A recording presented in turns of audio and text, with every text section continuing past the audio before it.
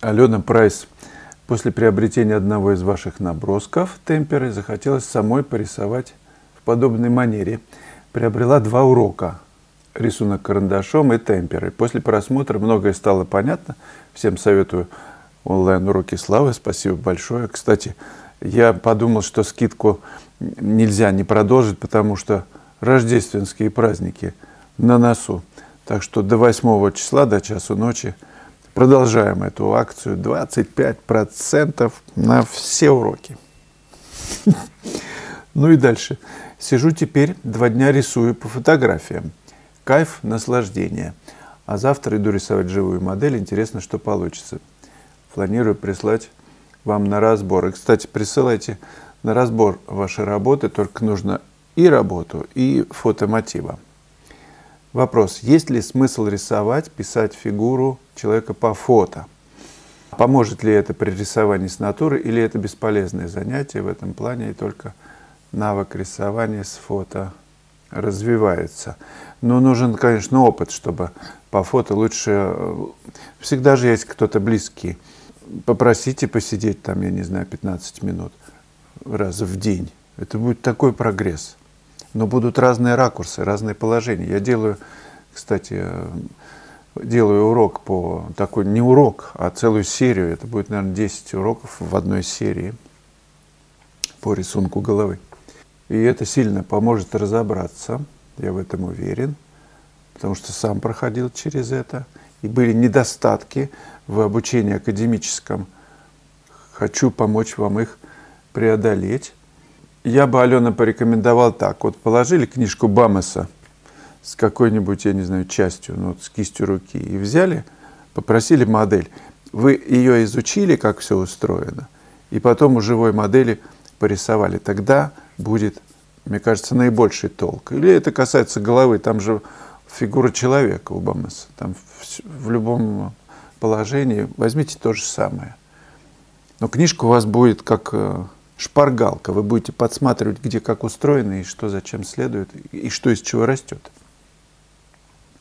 Же главное нарисовать не, не схожесть, не, по, не сходство, а форму, объем ее трехмерный. Это очень важный момент. Ну, то, что вы видели в онлайн э, этих уроках по, по рисунку, там есть структура. Вот структура это важно. Самое важное. А как штрихи, тенюшечки наложить, это второе дело. Главная форма, объем в пространстве.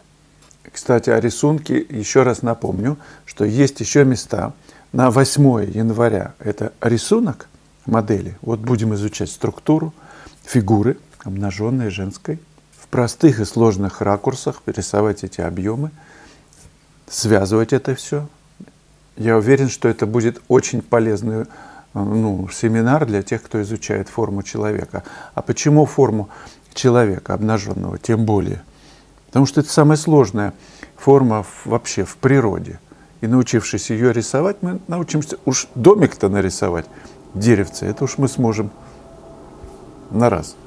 А 15 января мы, поработав основательно над конструкцией 8 15 пишем темперой или гуашью, можно акварелью. Там тоже будем изучать, естественно, конструкцию. Но это будет живописный класс, тоже обнаженная модель женская. Присылайте свои заявки сразу на WhatsApp. Я сформировал там две группы и включу вас в чат. Тут такое дело, юноша страдает депрессией, нужно помочь включать в обсуждение. Сергей, я сколько себя помню, всегда хотел быть художником, но не получил нормального образования, о чем сильно жалею. Уже больше 20 лет болею депрессией. Она сделала меня из тонко чувствующего и внеспособного Э, эмоционально и чувственно воспринимать красоту и гармонию во всех ее проявлениях. Это касается восприятия музыки, живописи и прочих искусств. То есть, не, чтобы не зазвучало, там звучит, например, лунная соната Бетховена, а вы еще глубже в эту депрессию. Фигня, это соната. Мне бы Мурку тогда надо слушать. Э, так. Теперь я не могу, как и прежде, в полной мере получать удовольствие от живописи, чужой и собственной. В общем, я стал в какой-то мере бесчувственным человеком. Поначалу эта утрата долго меня мучила. А потом я постепенно как-то смирился, и мне стало чуть легче. К тому же я большую часть своей жизни писал только то, что можно легче продать. Ну, вы понимаете, конъюнктуру. И это мне никогда не нравилось и не удовлетворяло, конечно. Но нужны были деньги на, на жизнь, поскольку в силу своего состояния не мог работать в другой сфере, хоть и пробовал много раз. Но в итоге возвращался опять к такой живописи. Да и не могу бросить это совсем, боюсь, без этого мне станет хуже. Это как спасательный круг, психологически держит меня на плаву, хоть это нельзя назвать искусством. Может ли человек с неспособностью получать радость от жизни, вообще от искусства, в частности, быть художником? Чем я могу помочь самому себе в этом положении? Мне уже 57. Пацан по сравнению со мной, на 7 лет дешевле. Ну, Сережа, надо идти в зал, химию тела нужно, надо полюбить себя. Мотивация нужна, мощная. И ближних попросите помочь. Иисус же говорил, что возлюби ближних как самого себя. То есть на первом месте самого себя. А сам ты – это значит что? Это слияние с силой красоты, мощностью и величием мироздания. То есть мы неотделимы от этого. Значит, это в первую очередь возлюбить надо. На мой взгляд, очень сильно помогает выходу из этого вот такого отупения, тамаса, маленькие шажки. Встать, к окну подойти, посмотреть. О, снег идет сейчас. Красиво. А, то есть вы не чувствуете это плохо, снег идет, мощно. Опять снег идет. Ну ладно, допустим так.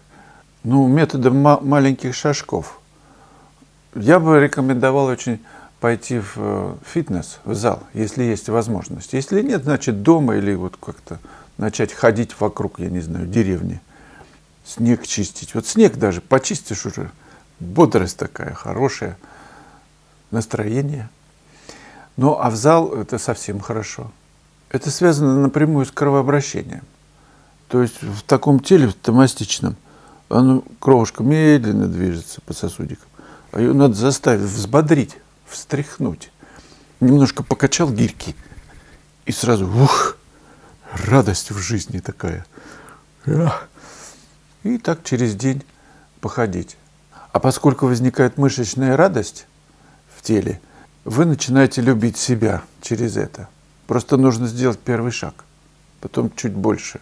Но нет возможности в фитнес приседать, отжиматься и так далее. Вы же сами понимаете. Но главное, чтобы запустить кровообращение на новый уровень, чтобы побыстрее там гонялось все. И будут вымываться всякие депрессные вот эти вот из клеточек, всякий шлак, а за место будет кислород запитывать вот эту бочку. Уверен, что вы не ходите к тренажерам. Но если я ошибаюсь, то поправьте меня. Потому что если выходили, не было бы депрессии, откуда она возьмется-то? А раз так, нужно попробовать.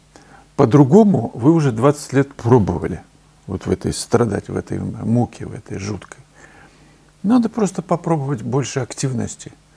Ведь человек – это самодвижущийся механизм такой, самосмазывающийся, вот, самодвижущийся экипаж. Если телега стоит долго, у нее вся эта смазка вот эта обрастает пылью, и а, не прокрутишь эти суставчики – она не поедет, вообще не поедет. А чем больше телега ездит по кочкам, она сама смазывается, там у нее солидол вот это внутри. Все эти подш... там подшипников не было, кстати. У нас-то есть. Так вот, кровообращение запускает все механизмы, которые смазывают все косточки. И все сразу э, играет. Забудете про депрессию сразу, как только почувствуете физику. С физики надо начинать. Ну и потом это же заразительно. Друзей заразит. Они говорят, Серега, пойдем выпьем за Глория. А вы говорите, нет, у меня пробежка. И раз вокруг деревеньки 30 кругов, не знаю, 10 километров. Они посмотрят, скажут, О -о -о а через какое-то время и сами присоединятся. Это заразительно, когда увидят, что вы горцуете. Не, ну кроме шуток, надо помочь Сереже, друзья. Давайте, включайтесь. Этот урок посвящен теплохолодности в пейзаже. Написан он в Риге, Киш-озеро, кафе на воде. И очень тонкие отношения холода воды, неба, к тени на досках, на этом дощатом мостике, на земле, свет, который падает на мостик, на землю, на, на, на саму эту постройку, на деревянное кафе. Это очень интересная задача. Как-то у Мане спросили, какой сюжет вы пишете. Он, он сказал, единственный сюжет во всех картинах – это свет. Вот писать свет – это очень интересно и очень сложно. Посмотрите, как это делалось. Не обращайте внимания на, на шутки. Я человек веселый, всегда эта атмосфера мастер-класса, она аутентична, она вот живая. Это за всеми этими шутками – есть работа. Обращайте внимание на то, как делается, как достигается эффект присутствия, эффект светоносности этого пейзажа. Это очень важно, мне кажется. И вообще смотреть, как работает художник, почему я и затеял эту школу, важнее этого ничего нет. Фешин, который не знал языка английского, делал мастер-классы постоянно и считал, что, что то, что художник показывает студентам, это важнее всех слов э, мира, которые существуют. Можно без слов это проводить. Я буду очень рад, если вам урок этот понравится. Пишите нечто подобное и присылайте мне на видеоразбор. Так будем двигаться дальше.